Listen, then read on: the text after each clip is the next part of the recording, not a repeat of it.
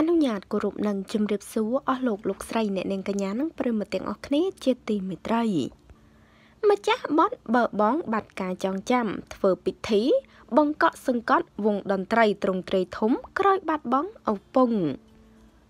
បន្ទាប់ពីធ្វើបុណ្យឪពុករួចរាល់តារាចម្រៀងលោកបូតាំងហៀងបានរៀបចំពិធីសម្ពោធបង្កក់វងតន្ត្រីយ៉ាងអធិកអធមកាលពីថ្ងៃទី31ខែសីហាឆ្នាំ2020 នៅគេហដ្ឋានផ្ទាល់ខ្លួនដែលមានទីតាំងនៅជិតវត្តវិហារសួរដោយបានអញ្ជើញភ្ញៀវរហូតដល់ជាង50តុងនោះជាពិធីដែលលោកធ្វើឡើងទាំងអារម្មណ៍សោកសៅខណៈដែលវងតន្ត្រីនេះ គឺលោកបង្កើតឡើងដើម្បីជូនដល់ឪពុកដែលជាតន្ត្រីករតែបែរជាបង្កើតមិនបាន សម្ពោធផងក៏ត្រូវបានឪពុកលេចាក់លងពិធីជប់លៀងត្រង់ត្រីធំនោះ ក៏ដើម្បីអបអរគម្រោងជួលផលិតកម្មធំមួយរបស់លោកដែលនឹងបង្ហាញខ្លួនក្នុងពេលខាងមុខផងដែរលោកបូតាំងហៀងនិយាយថា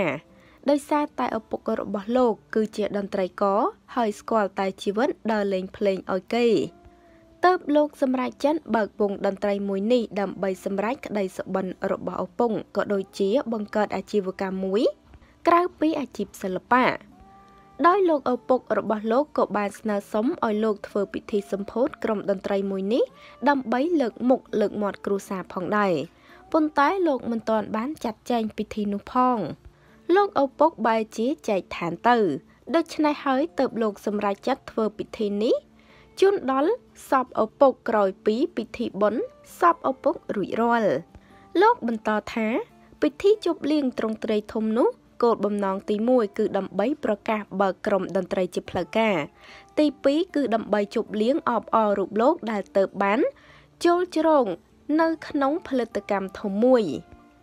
ខណៈដែលលោកសុំមិនបង្ហើបឲ្យដឹងពីឈ្មោះផលិតកម្ម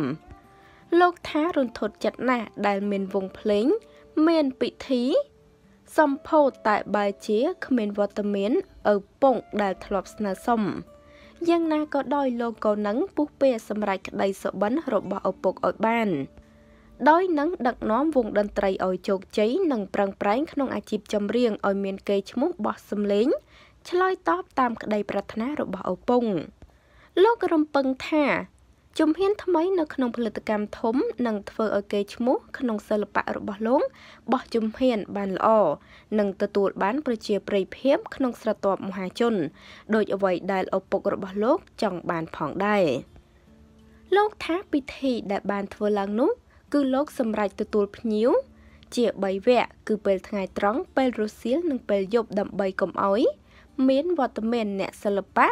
គោជើងគ្នា ក្នុងពេលតែមួយនាំឲ្យមានការភ័យព្រួយបារម្ភពីជំងឺ Covid ចាសូមចូលរួមអបអរផង ពេលនេះតារាចម្រៀងដែលជាម្ចាស់បទបើសិនបងបាត់ការចងចាំដែលទទួលបានការគ្រប់គ្រងពីសំណាក់មិត្តយុវវ័យនោះឥឡូវនេះលោកបានសម្ពោធវងតន្ត្រី ដែលជារបស់ខ្លួនឯងនិងត្រៀមចូលផលិតកម្មធំមួយនៅប្រទេសកម្ពុជាយើង យើងរងចាំមើលទាំងអស់គ្នា ថាតើលោកនឹងចូលផលិតកម្មណានោះ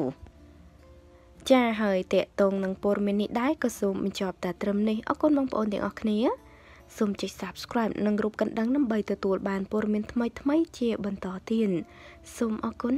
សូមគោរពលា